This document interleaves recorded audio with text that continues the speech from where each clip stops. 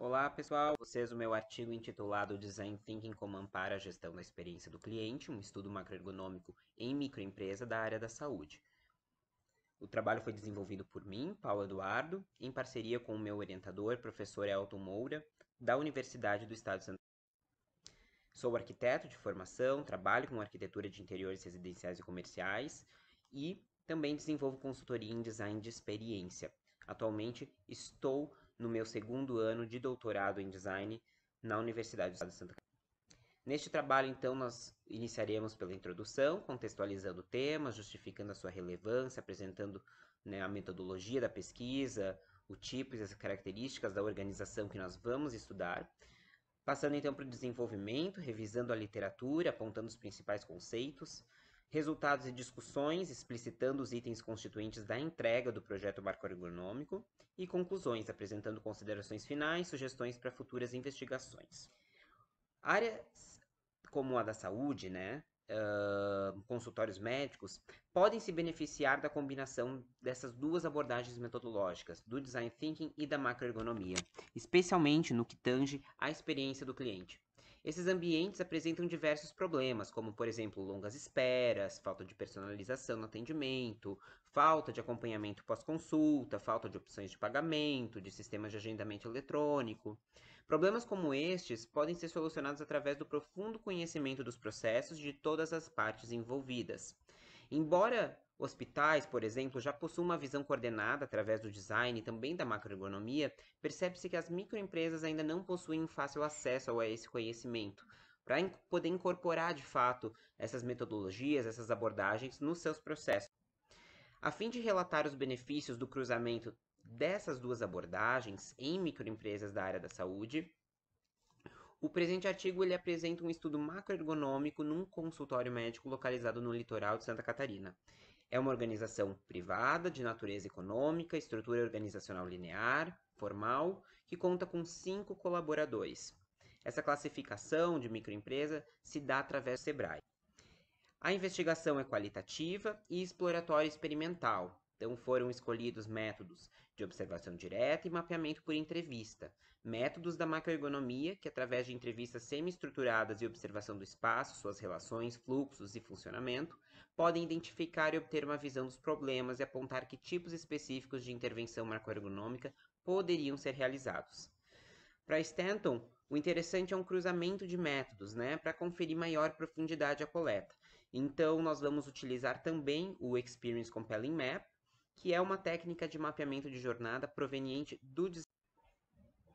No Experience Compelling Map, a ideia então é mapear a jornada da experiência desde o momento de atração, né, antes dos pacientes entrarem no consultório, momento de entrada, o momento que eles estão entrando, que eles estão na sala de espera, envolvimento, momento da consulta, saída do pagamento, das instruções finais ali da, experi da experiência em consultório e extensão, até o momento que ele retorna à sua casa.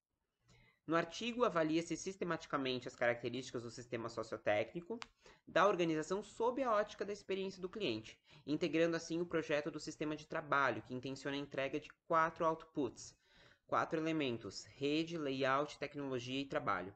A rede é apresentada através do mapa de stakeholders, o layout é explicitado por meio da visualização do arranjo físico por processo, a tecnologia através de uma listagem com a descrição de dispositivos auxiliares tecnológicos por ambiente, e o trabalho fica exposto então à designação de tarefas segundo as habilidades e disponibilidades apresentadas pelos participantes. Assim como outros modelos de gestão de design, o projeto macroergonômico se dá por meio de três etapas iterativas. A primeira, de inspiração, a segunda, de ideação e a terceira, de implementação. O artigo foca nas duas primeiras etapas, não contemplando a fase de implementação.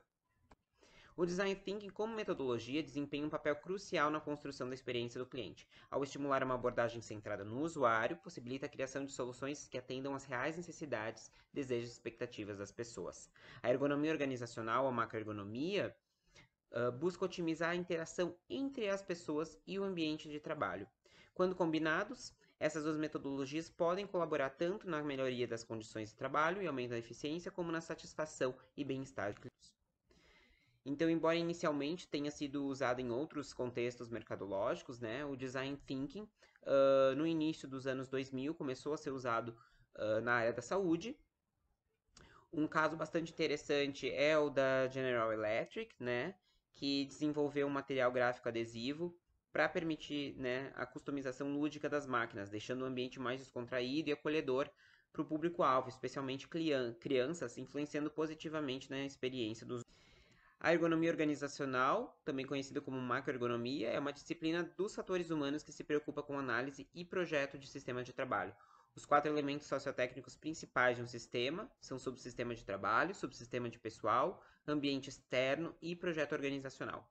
Para um projeto efetivo de sistemas de trabalho, são considerados os seguintes critérios: projeto integrado, abordagem humanizada da tarefa e consideração das características sociotécnicas da então, a aproximação inicial com cada participante se deu por perguntas que possibilitaram a visualização do perfil de cada indivíduo dentro da empresa. As perguntas foram qual o seu nome, qual o gênero que se identifica, qual a sua idade, profissão, tempo de, de empresa, quais tarefas desempenha na empresa, qual o passatempo, as habilidades nas horas vagas, quais tarefas gostaria de desempenhar, quais os pontos negativos que poderiam ser mencionados e também os negativos.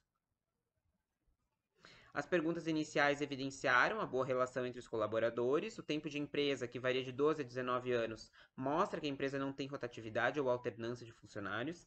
As habilidades e preferências pessoais percebidas, especialmente na pergunta 7, revelaram oportunidades de redistribuição. A aplicação do Experience Compelling Map sucedeu às perguntas iniciais e, nesse momento, a experiência do cliente foi mapeada sequencialmente segundo a visão de cada um dos cinco colaboradores internos da empresa. O pesquisador, então, criou um quadro com cinco colunas que foram preenchidas com post-its contendo opiniões, insights dos voluntários a respeito da experiência oferecida, destacando aquilo que acreditam já ser bom e pode ser mantido, e também o que pode ser acrescentado a cada momento da jornada da experiência atual, a fim de elevar a satisfação. Os insights foram coletados individualmente e posteriormente agrupados, Destacados em vermelho estão os insights compartilhados que ainda não estão presentes na experiência ofertada, mas que os voluntários acreditam que devem ser incorporados. A ferramenta se mostrou extremamente benéfica, né, porque trouxe soluções relevantes, assertivas e em grande parte acessíveis. Como essas soluções partem diretamente dos colaboradores internos, as chances de serem aplicadas e mantidas na rotina da empresa são muito maiores e inúmeras possibilidades de melhoria na experiência oferecida foram apresentadas, incluindo soluções envolvendo estímulos sensoriais e dispositivos tecnológicos. Perceber os insights e sugestões de forma sequencial auxilia na visualização e no redesenho da experiência, permitindo que muitas das soluções já sejam incorporadas a curto prazo, como por exemplo as que dizem respeito aos estímulos sensoriais e conduta de tratamento para com o público. Com o mapa de stakeholders, a primeira entrega né, do nosso output de quatro uh, do projeto macroergonômico. O mapa de stakeholders, então, uh, possibilita a visualização dessas relações e evidencia as partes, uh, colaboradores externos e outros que podem ser incluídas em pesquisas futuras. Né? Visualiza todas essas relações do cliente com o pessoal, o staff interno, né? E também todos esses. O arranjo físico por processo, então, o layout se fez possível por meio da observação direta dos fluxos, relações e funcionamento do consultório médico. Percebeu-se a existência de zonas conflitantes, onde fluxos públicos, colaboradores internos, externos e clientes, e fluxos privados, colaboradores internos, cruzam-se, evidenciando uma fragilidade na condução da experiência do cliente. Como possível solução, né, sugere-se mudanças pontuais no layout, que a sala de repouso, por exemplo, seja passada para o espaço à esquerda, atual depósito, e que as salas de depósito e apoio permaneçam juntas, evitando assim no que tange a tecnologia, a aplicação dos métodos e ferramenta possibilitar a constatação de algumas deficiências. Então, foi feita uma listagem de equipamentos que podem uh, melhorar, né, por ambiente, que podem melhorar a experiência tanto dos clientes quanto do pessoal ali dentro né, do, do próprio consultório. E por fim, quanto ao trabalho, uh, sugere-se uma remodelação na distribuição de tarefas, seguindo as sugestões levantadas pelos próprios. Conclusões. Ao colocar o cliente no centro do processo, surgem possibilidades de melhoria nos diversos pontos de contato com a empresa, desde antes da chegada do paciente ao consultório até o momento que ele retorna à sua casa. Uma vez trabalhadas corretamente, essas soluções uh, levantadas pelos colaboradores internos podem influenciar positivamente não somente os clientes, mas todos os stakeholders envolvidos né, nessa rede. Dada a sua flexibilidade e adaptabilidade, a combinação de métodos que aqui eu apresentei pode ser utilizado no estudo e projeto macroeconômico de outros estabelecimentos na área da saúde, como farmácias, consultórios odontológicos, entre A partir da metodologia adotada, apresenta-se uma conduta acessível para microempresas, que, diferente de grandes empresas e hospitais, né, não possuem uh, uma aproximação com os conceitos aqui abordados. Cabe ressaltar novamente que o presente estudo intencionou a investigação interna da empresa, incluindo cinco colaboradores que nela, nela trabalham, e para futuras investigações sugere-se que sejam incluídos os clientes, bem como os outros stakeholders dessa rede de relações da microempresa. Aqui são algumas das minhas referências. E muito obrigado. Aqui segue o meu contato.